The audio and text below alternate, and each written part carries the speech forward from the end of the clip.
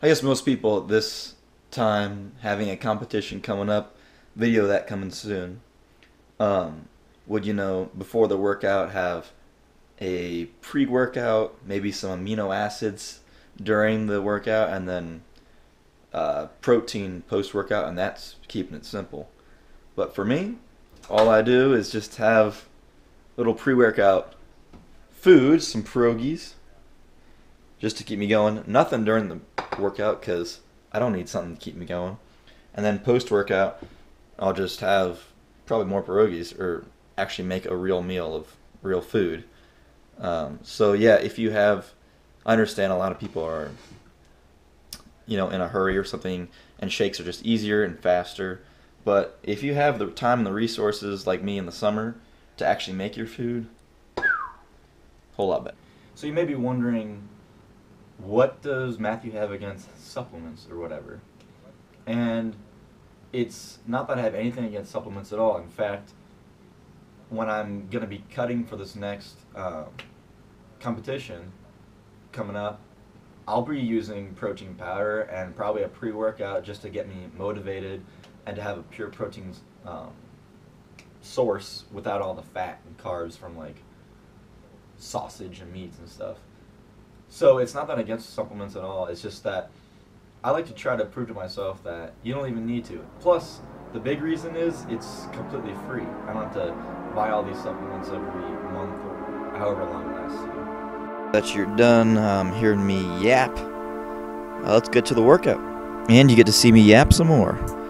So here's just showing me uh, warming up. I think it was 20 pound dumbbells. Not much to it. Obviously, you want to warm up before any workout.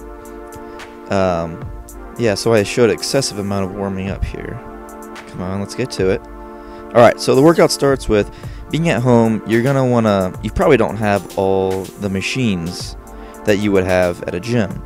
Being one here, a preacher curl. Here I just did kind of a makeshift preacher curl with the easy curl bar. Set it right on my knees. Your different angle. And I mean, your knees just act as the bench. It's exactly the same thing, stretching at the bottom, squeezing this out. So that's one kind of a trick exercise you can use if you're working out at home, if you're stuck at home.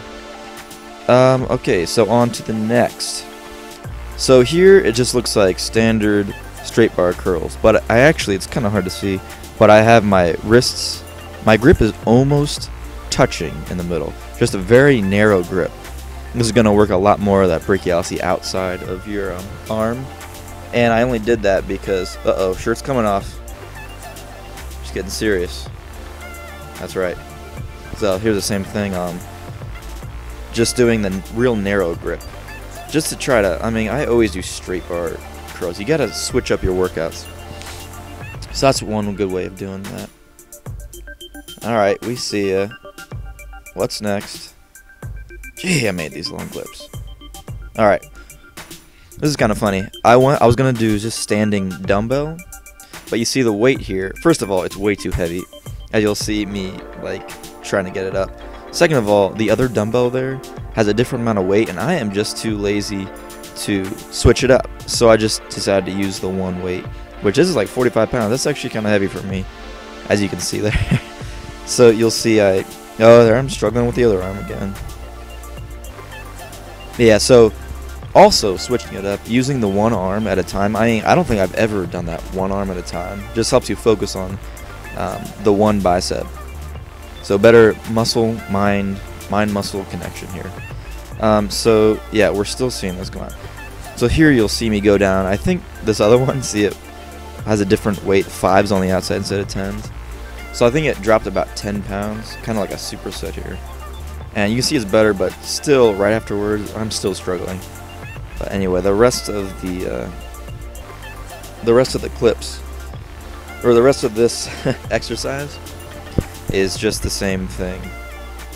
Using this 35 pound weight, I think I do in total the workouts about four exercises, about five sets each. So 20 sets in total, pretty pretty good, normal volume.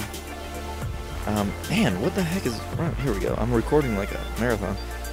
Alright, so here at the end of the workout, I think this might be the last third or fourth exercise. At the end of a bicep workout, I really like to work the uh, forearms as well. Not super directly or anything like curls, but here you can see it's working the brachialis outside again of the bicep, and then the forearms here, keeping these wrists straight up. I just did that with easy curl bar and then went straight over to a drop set. Of course, I didn't get my weight ready, that's why I was angry there. So I just go ahead and do the same thing, one arm, hammer curls.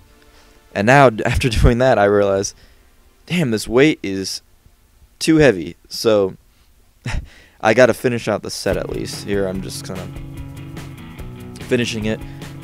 Um, the next clip, you'll see I still do the hammer curls, or the reverse curls there with the easy curl bar and then I switch it over to I think they're 20 pound dumbbells, just doing them all at once. Yeah, there I say lower that weight. So here, it's nice thing. You're not at the gym. There's no ego here. So I'm just here. I can work out with my shirt off. I can have music blaring. I can use whatever weight I want. I can record. That's the beauty of working out at home. So even there, those 20s are still kind of heavy. And then for this last, I was going to be done, but then I lift up this bar to put it back on the rack, and I thought, hey, I could finish with just standard grip, straight bar curls. And as you can see, these uh, 10s on either side are posing a rather large problem, as I'm really struggling to get this up. But the end of a workout, pushing hard, it was a good workout there. I'm getting pretty tired. Good workout and all. So, hope you guys liked the video. Actually, I have a little outro to talk about. So after this, you'll hear me talk again. Alright, thanks for watching this home bicep workout. I also do calves too. Be on the lookout for this weird kind of home calf machine I kind of made up that you can make real easily. Um, as you can see, I'm just stuck at home, working with what I got just, I just make up the exercises as I go. It's not like I have a pre-planned workout, other than what muscle group I'm working that day. So it's all kind of improv. Just do what you will. If I feel like doing some hammers, I'll do some hammers. I feel like doing straight bar curls like you saw me doing twice, I'll just do them. And I'm all for setting a regimen, but I mean, if you know what you're doing, just go with what feels right. That's what I do. So thanks guys for watching.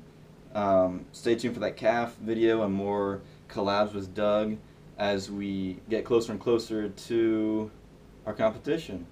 I keep building it up. There'll be a video soon describing when it is, where it is, and stuff like that, and what we're doing in it. So uh, hope you guys like this video. Speaking of that, you go ahead and like the video, throw down a comment, and even subscribe. Remember, there's always more on the way, so stay tuned little outdoor lunges or shoulder press. Oh. oh, oh that's good. More hard. Whew.